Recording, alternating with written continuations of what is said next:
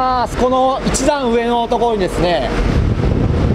小部屋が窓があるの見えます？あの窓のところに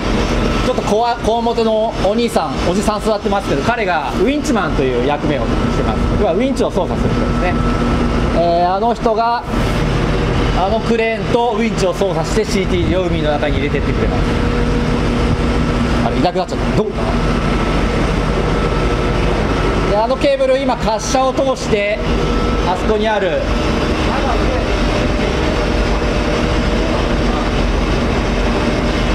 あのウィンチですね。ちょっと緑が色がかった機械がありますけどあのウィンチに、えーケーブルが巻いてあります、えー巻いてあるケーブルの長さは、えー 7000m ありますので、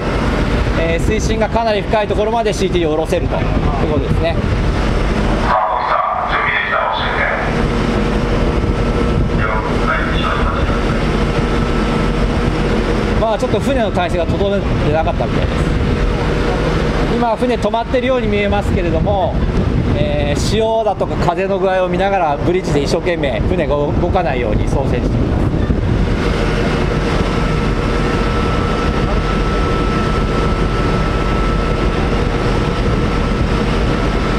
はい、ブリッジ準備できました。ちょっと朝と比べると風が吹いてきてですねあんまりいい状況じゃなくなってきましたね。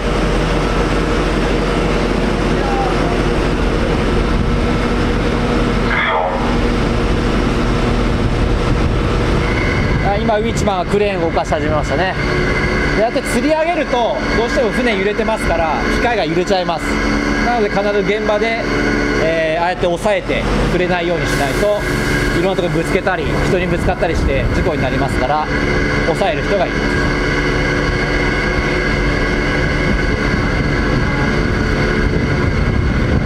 高尾君今あの釣り上がった分全部で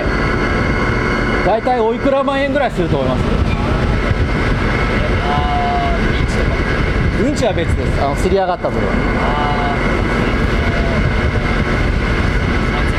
あー、3000万。3000万いいです。ぴったりです。ほぼぴったりです。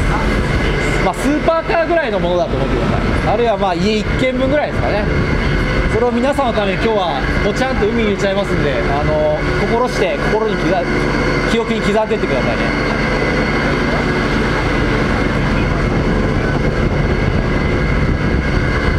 あのさっき説明した CTE のセンサーの部分はですね金属製の筒になってるんですけど、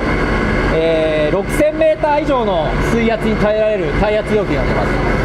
えーケーブルも 7000m ありますので大体どこの海行っても海底まで観測できるようになってます。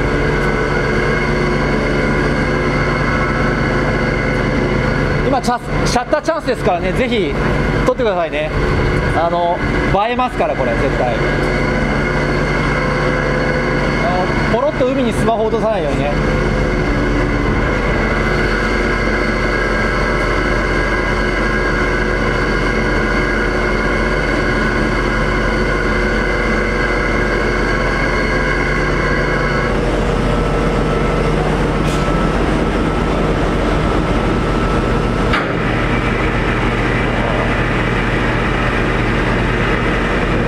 れが水面に入るところがめちゃくちゃかっこいいですからね。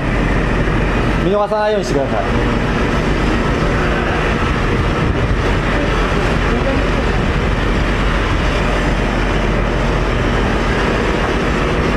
あ揺れた揺れた揺れた揺れた揺れた。